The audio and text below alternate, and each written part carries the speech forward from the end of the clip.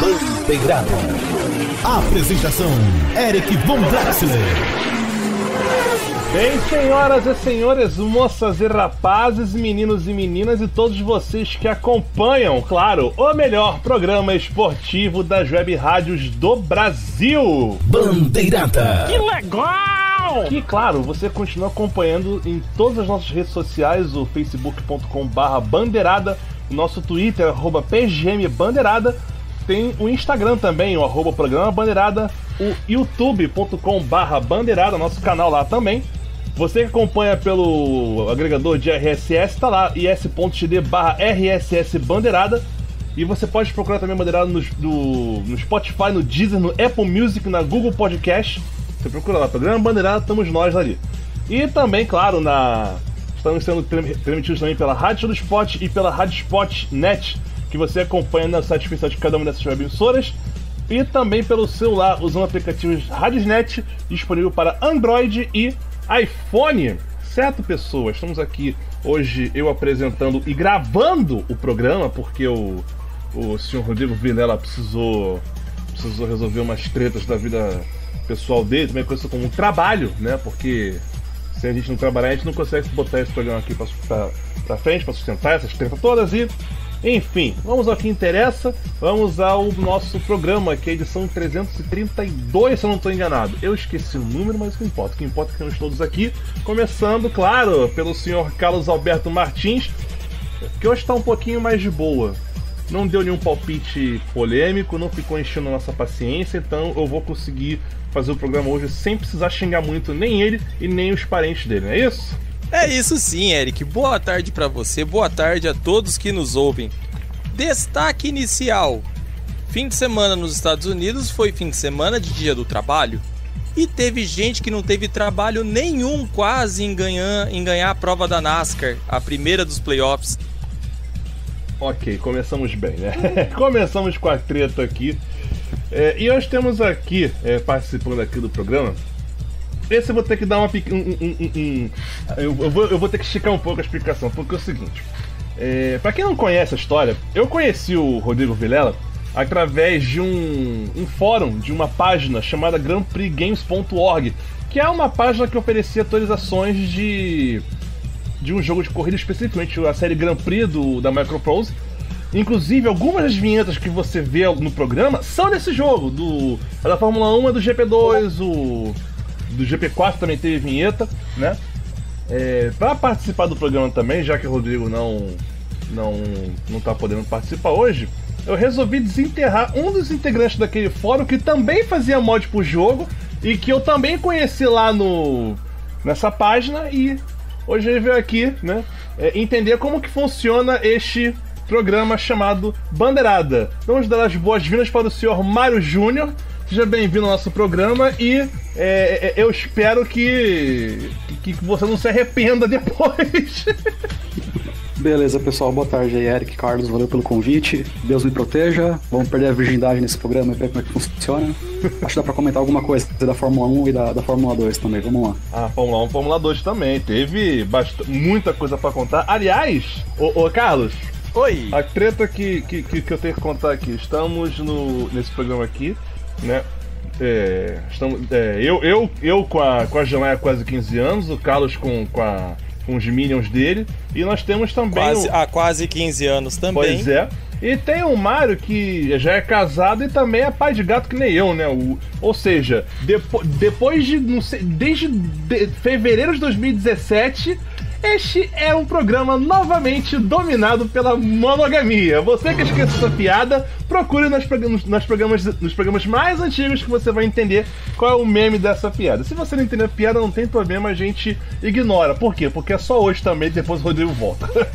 Vamos começar o programa.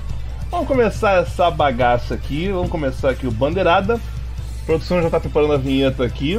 Então vamos começar que teve história se inscrevendo na Fórmula. Agora dá, pra, agora dá pra falar com um pouco mais de gosto. Fórmula 1. Vai!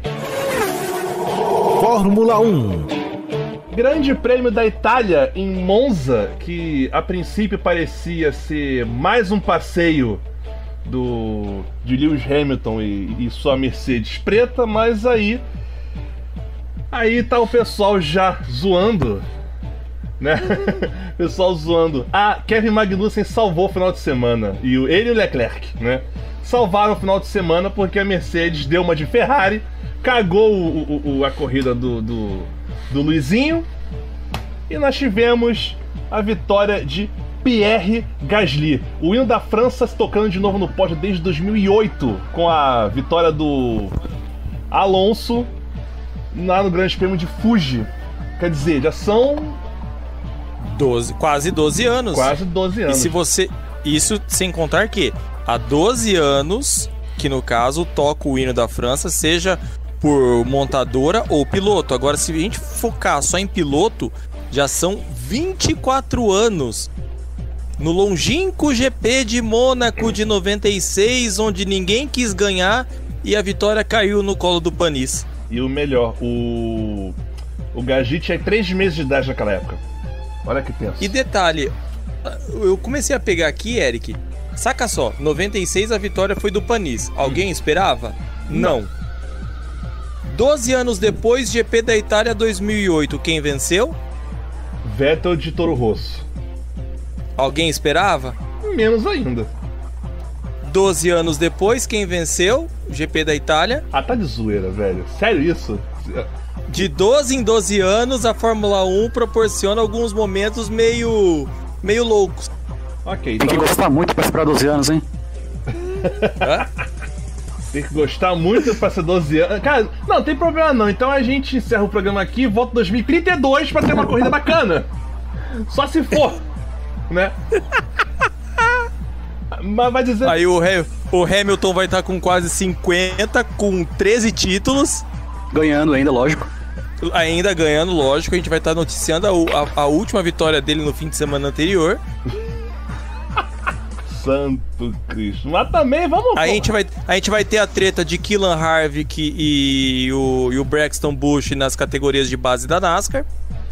Que isso, ô, ô, ô, ô, Carlos, volta pra cá. Não, come, não, não começa tu também. Ô, Mário, vamos lá. Deixa eu falar um negócio. uma- uma- deixa eu ver aqui. Você viu a corrida, você deve ter. Tipo, deve ter achado, pô, o 44 vai ganhar de novo. E aí. E aí o Magnussen faz o favor de parar no, na entrada do boxe e aí o acidente do. do Leclerc.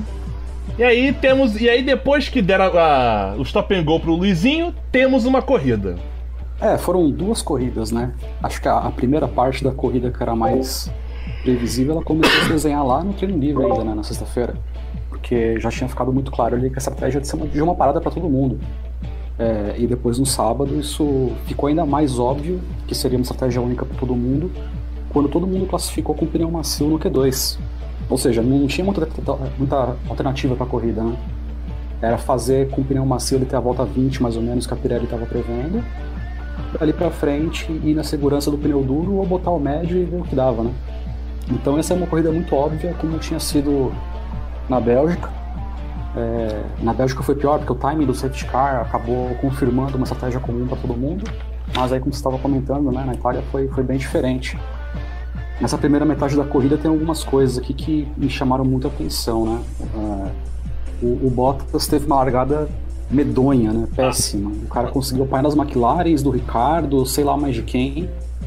E acabou a primeira volta ainda na cara de pau lá no rádio, dizendo, puta, furou o pneu, alguma coisa assim, né? Teve que ouvir do engenheiro dele que, então, meu amigo, tá tudo certo aí, né? Toca o barco. é... Esse foi, foi o momento vergonha alheia, né? Pro, Não, pro o- Bottas. Uma. Bottas definitivamente. Eu acho que ele só tá na, na, na- Mercedes porque. Pra não fazer frente pro, pro Luizinho. Só pode, só pode. É que assim, o domínio da, da Mercedes é tão grande que mesmo o, o, o Bottas indo mal, ele tá no pódio sempre. Então é difícil falar que o cara não tem resultado também, né? Sempre. E o Hamilton, a última coisa que ele quer é um competidor forte ali com ele, como foi o Rosberg no momento. Então, eu acho que ele fica. Não porque não tem gente melhor, mas pelas circunstâncias todas, né? É, foi o que eu falei, pra não, não ter ninguém pra fazer frente com ele. É, Não, e então. sem contar que ele já renovou esse pra, pro ano que vem, né? E tipo, renovou Já. do tipo, assumir pra ser, ser. Assumir o segundão mesmo e dana-se. Vou ganhar dinheiro pra Dedel com ele. É, o ponto é esse, tá fazendo, tá fazendo bem pra conta bancária dele, né? Então. E posso falar uma coisa? Leclerc foi esperto, hein? Porque se, não- se ele não se ele não fizesse a- aquela presepada na parabólica ia empatar em Mugello, hein? Ó a teoria da conspiração já. O que eu já ouvi. eu- não, os dois. A, a Haas também, a Haas parando ali na entrada do, do, do, do pit lane. E o. e a Ferrari. Os dois arrega- arregaçando na. Quer dizer, o, o, o, o, Magnussen nem tanto, porque ele não foi abandonado. Agora, o, Le, o Leclerc, meu, rapaz, que paulada. Que paulada, né? Que paulada. Aquilo E passou ao vivo, né? A, a câmera tava pegando a saída da parabólica ali, os carros passando, e pegou ao vivo quando ele perdeu o controle e esborrachou na, na barreira. Foi, foi bem impressionante. Possivelmente, possivelmente o RK da semana, né? Mas. Enquanto a gente ainda não estamos na hora, mas vamos lá. Não, te- é, teve outros, teve outros, mas segue o barco, segue Vamos o barco, lá. segue Não, o jogo não, aí, um dos, Mas, um então, queria dos indicados. Um corrida. dos indicados. Mas vamos, mas vamos lá, prossigam. Então, eu queria concluir a primeira parte da corrida aqui bem brevemente, né? Porque a, a McLaren conseguiu pular lá para P2, P3 com o, o Sainz e o, o Norris, o que ali eles estavam garantindo um bom para a corrida. Red Bull foi lá para trás com, com o Albon e com, com o Verstappen, daí para frente também não conseguiram fazer nada, né? E aí se formou um trenzinho, né? Teve ali uma briga do Pérez e o Norris e tal, e ficou um trenzinho do Norris, Pérez, eh, Ricardo, Bottas e Verstappen, ficou naquela lenga-lenga. A gente tava chegando perto já da primeira parada e tava com aquela cara, pô, Hamilton vai ganhar, vai ficar esse trenzinho do DRS aí pra trás não vai acontecer nada, né? E aí que as coisas começaram a, a se desenhar pro Gasly, porque mesmo antes de acontecer tudo que aconteceu ali, com acidente, bandeira vermelha, Magnussen e tal, é, a, única estratégia diferente que de fato tá- tinha um desenho legal pra corrida era dentro da AlphaTauri, porque o Gasly largou entre os 10 primeiros e largou com o pneu macio, né? Uhum. O Kvyat, companheiro de equipe dele, largou com o pneu duro, é, uma ou duas posições atrás dele só. Então ali tinha um- alguma coisa para acompanhar na corrida em termos de estratégia, né? E o que aconteceu? O Gasly foi um dos primeiros a parar no box antes de acontecer a confusão toda. E aí aconteceu do, do Magnussen abandonar ali, parar o carro perto da entrada do box, e saiu o safety car e parou Giovinazzi e Hamilton, e depois todo mundo foi entender que tinha uma indicação lá do lado esquerdo da pista que era um X vermelho que não podia entrar no box. O né? problema é box que. tava fechado. É, o problema é que essa indicação até tá. tá até tava tretando lá no, no, no- grupo lá da Super Live. É, essa, não tava essa, essa indicação clara. É, é, não digo nem pros pilotos, mas ela tinha que estar clara tanto pros pilotos como pra quem tá de fora vendo. Porque, tipo, eu sei que na saída do pit lane tem, tem um, um, um semáforo. sinal ali. Pisca uma luz azul quando tem um carro descendo a reta em. A, a toda. Meu, Mas. Pra ali, pra resolver, nada como um cara na, na entrada do box ali, canto. Com a bandeira vermelha. Não, Exato. É, ou então aquela plaquinha ali, que do, a- aquele placar que fica ali na entrada do box da. em- de LED ali em cima da Heineken, que fica. Heineken que tava piscando na hora, bota ali, ó, fechado. Uma indicação ali, pô. Ali tá, tá vendo, tá todo mundo vendo que tá fechado. Aí não tem errada, entendeu? É. Ah, voltando. É, essas indicações luminosas aí dizem que ah, foi uma modernização que teve, né? Antes era na base da placa mesmo, da- das bandeiras e tal. Mas os pilotos convenientemente esquecem de olhar quando é uma bandeira amarela em classificação, quando pode tirar vantagem estratégica, acaba dando uma presepada dessa, né? Tem um canal no YouTube, não lembro o nome agora, posso verificar depois, mas ele solta os rádios, né? Que, que não sai na transmissão da televisão. Provável. É rádio da transmissão completa, assim, não é pago não, tá, tá aberto lá. Não sei como é que o cara consegue esses áudios, mas tá lá. Pirataria. E teve o rádio do. é, pode ser. Mas tem o rádio do Hamilton lá. Ele, ele perguntando, né? Putz, a gente fez besteira ou não fez? Vai ter punição não vai? Eu queria entender que que aconteceu de fato, né? Hamilton. A gente pode imaginar. A gente viu na TV, né? O Hamilton pegou o patinetezinho dele falar reclamar, falar um Hamilton monte. de patinete pra tretar com a organização, é. Essa Então, mas a gente fica imaginando, o cara foi lá soltar os cachorros, né? Mas você vê no rádio ele falando com, com a equipe. Fizemos um caca. negócio mega profissional, super é, tranquilo, assim, sabe? O pessoal. É, diferente da Ferrari, né? Que o Vettel fala alguma coisa, o pessoal, ok, estamos checando, ok, entendido, e nada acontece, né? Ah. É, na, na Mercedes rola uma conversa profissional, o pessoal conseguiu se entender e de fato entendeu que o pit estava fechado mesmo, foi É. pagado, paciência, Não. paga a punição. Não, Ferrari, pelo amor de Deus, né? O, o- o negócio não tem nem o que falar. Sério. Não, e sem contar, o Vettel, o Vettel já tá. Já tá com o tipo. de aviso prévio, então, tipo, o que ele falar vai ser a mesma coisa do que o que a Yuki solta no, na caixinha. Dana-se. Ai, cara, isso. Aliás, eu tô até vendo o, o- a, a, a página do Wikipedia aqui. Eu não, tô, eu não tô de zoeira. Botaram no site aqui já o Vettel ficando em segundo no Prêmio da, da Toscana. É- é- Eu acho que deve ser o mesmo pessoal que botou a placa. a- o letreiro lá da 90 vitória do, do. do Hamilton na classificação. Deve ser, só pode. Aí depois. Aí vamos lá. Pode, e pode ter certeza que muita gente que pegou pra assistir a prova, nas primeiras voltas, olhou, ih, o Hamilton de novo, vou assistir o filme do Pelé. Ah, não tem mais filme Aí, pra assistir, tipo, né? Perto das 11 e pouco, tipo, vou ver o que que deu. Aí olha o Gasly primeiro, tipo, meu, o que eu perdi? Não, aí você pergunta, você quer saber que você perdeu? Eu vou te dizer que você perdeu. Você perdeu o Gasly su- suando, chorando, pra segurar é, é, é, a vitória, porque o, o Sainz vinha com sangue nos olhos pra cima dele. A máquina Babando. babando e deve estar pensando, vou, vou ganhar, vou, vou tentar. E o cara ainda falando, olha, está, está em segundo, não, não, não, faça caca, amigo, não quero saber, eu quero ganhar essa corrida. Eu quero ganhar essa corrida. E claro, o, o, o, o menino Stroll torcendo pros dois se pegarem e ele dar a vitória. Olha que, olha que bizarro que ia ser, velho. Os dois É, mas é que tá, né? O problema da, da Racing Point tem, tem dois problemas, ou três, né? Eles têm um carro que, lógico, é a cópia disfarçada lá da Mercedes, né? Hum, Só que o Pérez e o. é, Quatro problemas, vai. Ou três, vai. Três, três tá bom. decida. Mas o carro é igual. Só que os caras, os caras erram no setup, erraram no setup em Silverstone. De novo, botaram muita asa no carro agora em Monza. É, até na sexta-feira os caras estavam na base da serrinha lá, tirando peça de fibra de carbono debaixo do carro pra, pra melhorar arrasto. Um negócio meio improvisado, assim. É, e, e o Pérez e o Stroll não conseguem converter o, o máximo de resultado quando eles têm o carro na mão e a chance de fazer isso, né? Até o Huckenberg fez mais do que o Pérez vinha fazendo quando teve a chance. O Stroll, na bandeira vermelha, pelas regras novas de, de, de- de bandeira vermelha, não sei desde que ano que tem, é, acho que foi alguma coisa em Mônaco, teve uma confusão de trocar pneu porque é, tava chovendo, pode chover, alguma coisa assim. Aí mudou essa regra. E o Stroll não tinha feito a parada ainda quando deu bandeira vermelha. E ele pôde trocar os pneus durante a bandeira vermelha. Ou seja, é como se ele não tivesse feito nenhum pit stop na corrida. Ele ganhou ali, tranquilo, Gênio. uns 20 E segundos. é aquela história, quem interpreta bem o regulamento interpretou, né? O pessoal da Mercedes deu tulé pra ontem. Não, e foi sensacional. Então, aí na relargada, o Hamilton tinha que pagar a punição. O Stroll tinha posição de pista para ficar na frente. Só que a largada dele foi uma droga, né? O Gasly pulou para frente. é, o Stroll deu uma segurada ainda no, no, no Sainz. E quando o Sainz conseguiu passar, ele já estar uns 4 segundos atrás do Gasly. E aí começou a perseguição que o Eric estava comentando. E foi, foi fantástico, Não, assim. A foi partir daí eu comecei a acompanhar os. Eu comecei a acompanhar os tempos dos setores dos dois para entender né, a dinâmica dessa, dessa perseguição do Sainz.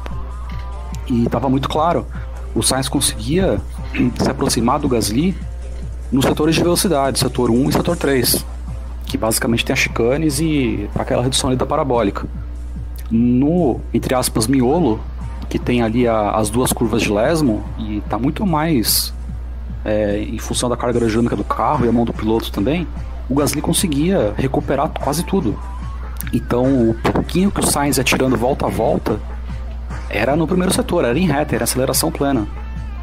É, na hora de chegar ali nas curvas, nas variantes, o, o Gasly mandou bem pra caramba e conseguia retomar boa parte da, do que ele havia perdido pro Sainz. Isso volta a volta, hein? Foi umas 10, 12 voltas nesse ritmo, nessa, nessa pegada do, do setor 2, o Gasly conseguiu se recuperar. Então não foi uma coisa que caiu no colo dele. Claro, evitou as circunstâncias da corrida, mas na hora que vai, filho, vai que é tua, ele fez por merecer.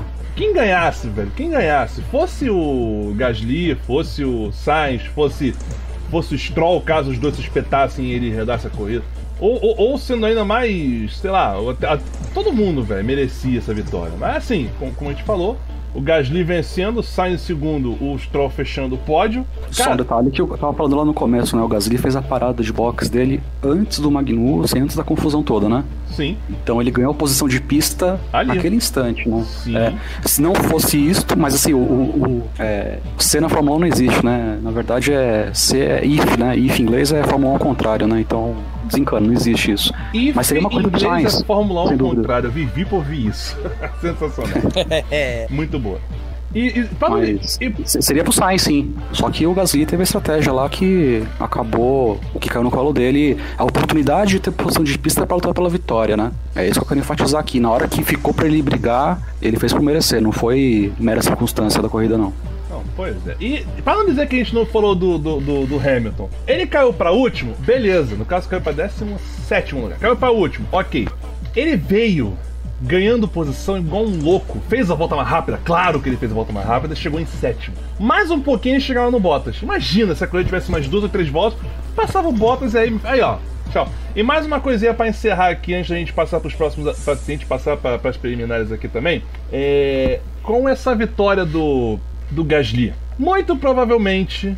Muito provavelmente a, a Red Bull vai começar a repensar de novo, né?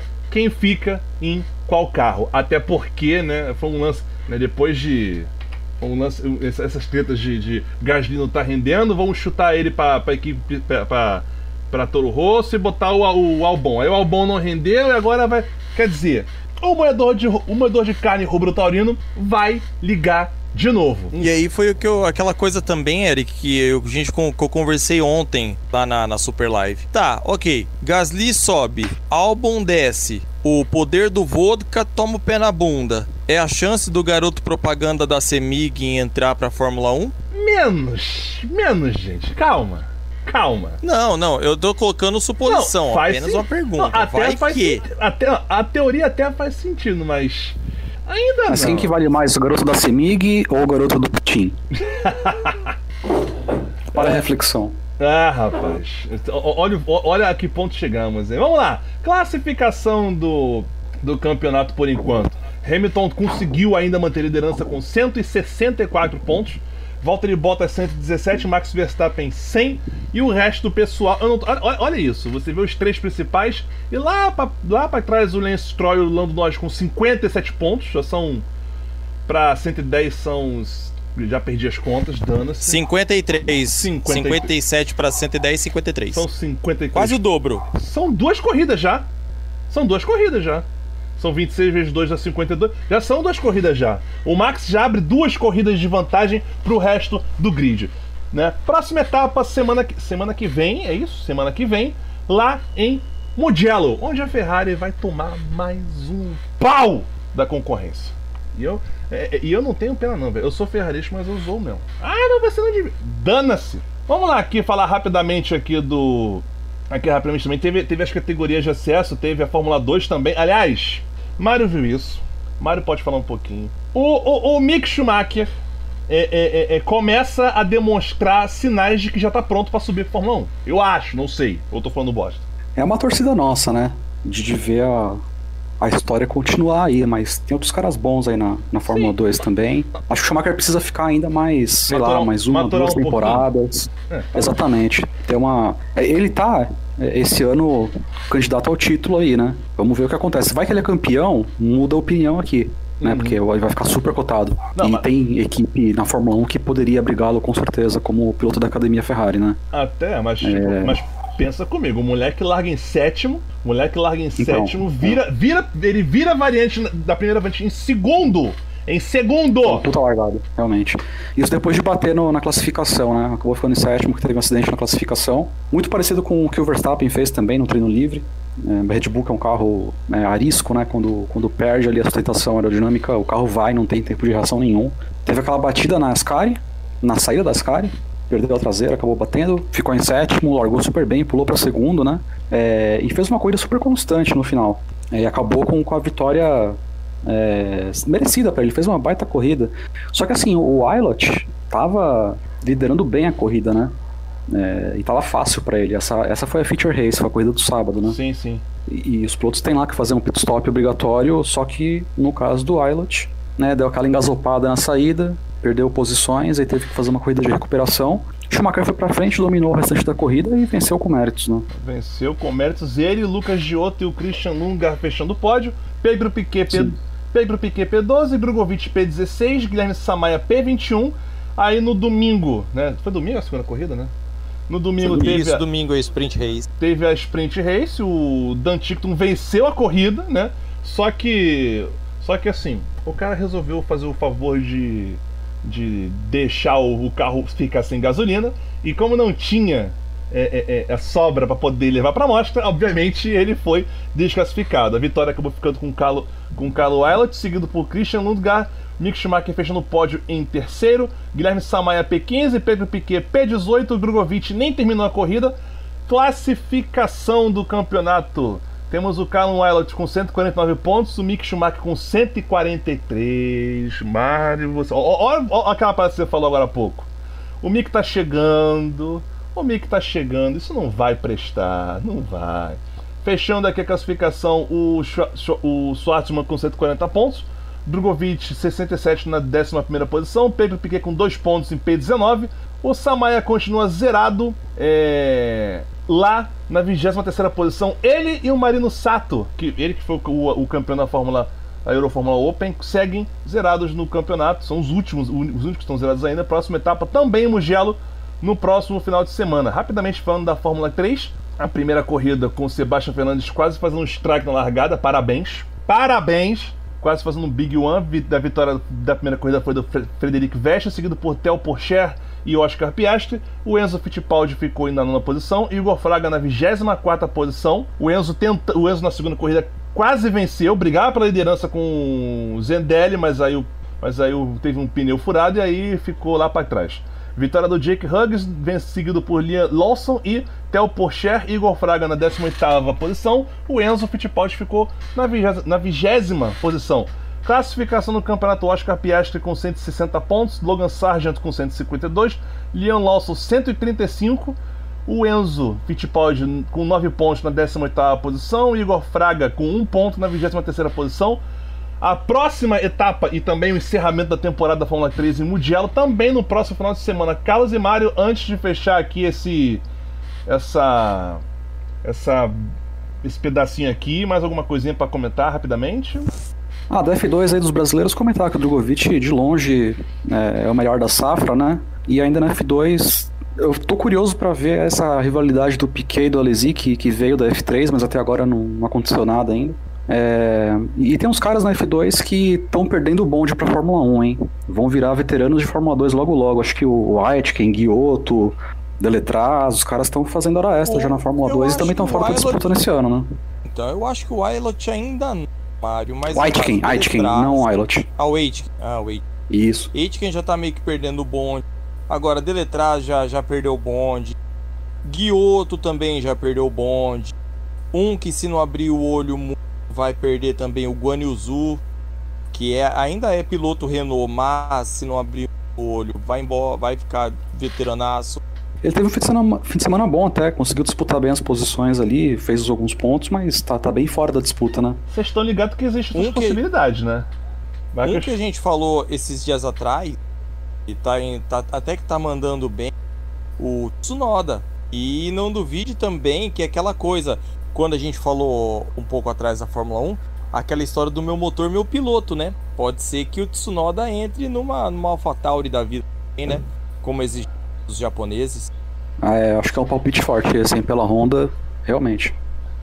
Aqui então, só para fechar aqui o bloco rapidamente, é... outra lista que a gente precisa aqui mencionar. Alesi, Panis, Montoya, Rosberg, Hamilton, Maldonado, Leclerc e agora Gasly. Estes são os pilotos que é... foram campeões, ex-campeões de Fórmula 3, Fórmula 3000 GP2 e Fórmula 2 que é... venceram pelo menos uma corrida na Fórmula 1. Ou seja, é, nem sempre o cara que vence consegue chegar lá, mas quando chega, pelo menos eu, é, é, tem que fazer um pouquinho de história. Vamos mudar a vinheta rapidamente aqui, vamos falar um pouquinho de. também um pouco mais de monoposto, só que teve. É, é, coisa rápida, é coisa rápida, só pra gente fechar o bloco aqui. É, que teve também essa semana lá na. lá na. em Indianápolis, a a Road to Indy. Vai, toca a vinheta rapidamente. Monopostos. Primeiro com a Pro 2000, né, que teve as três corridas, as três vencidas pelo Stingray. Caraca, eu, eu, sempre, eu sempre me confundo com é Stingray Rob, né? Ele que deve ser. Acho que nas horas vagas ele faz é, luta livre, cara, com esse nome, né? Parece Ted Boy Marino, só faz Stingray Rob, mas enfim. Primeira corrida ele venceu, seguido pelo Hunter McElrea e Parker Thompson.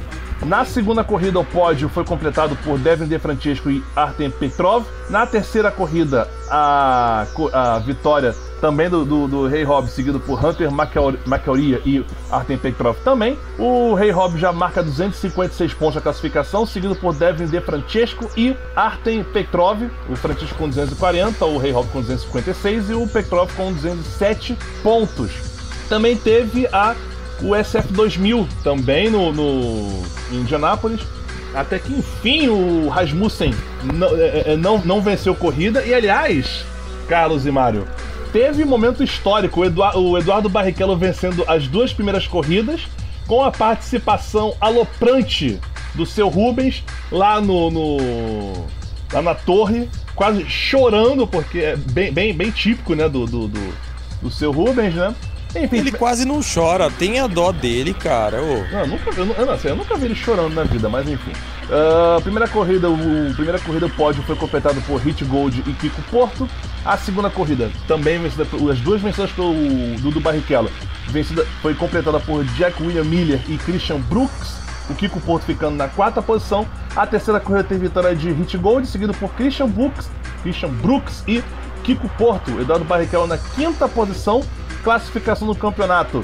Tivemos, temos Christian Rasmussen com 244, Hit Gold 194, o Dudu Barrichello com 187 pontos, o Kiko Poto na nona posição com 103 pontos. A próxima etapa, tanto da Pro 2000 quanto da USF 2000, a confirmar se foi Mid Ohio ou em Nova Jersey no, no, no, final de semana de 9 a 11 de outubro. Vamos ver como é que fica aí essa brincadeira e a gente espera que que, que as coisas fluam numa boa. Vamos encerrar esse bloco. Já. Ô, Eric, Oi. antes de terminar o bloco rapidinho, na USF 2000 teve um acidente teve um acidente bem louco do Brandon Ives. No fim da, na hora que foi pegar, na hora que pega a parte do oval para chegar na linha de chegada, ele tomou um toque, cara, o carro capotou e deu no, no muro. Mano do céu. Foi um acidente louco e assim, ele acabou machucando as costas, tá um pouco as vértebras, foi pro hospital e talvez não corra a próxima prova, vai ficar em recuperação.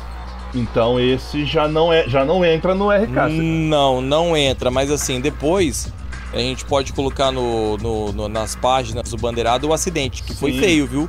Ah, isso foi aí, feio. Isso aí é um trabalho para o pessoal que alimenta as redes sociais do Bandeirado. Vamos fechar esse bloco, então palate estourado, daqui a pouco a gente volta com a segunda parte do Bandeirada.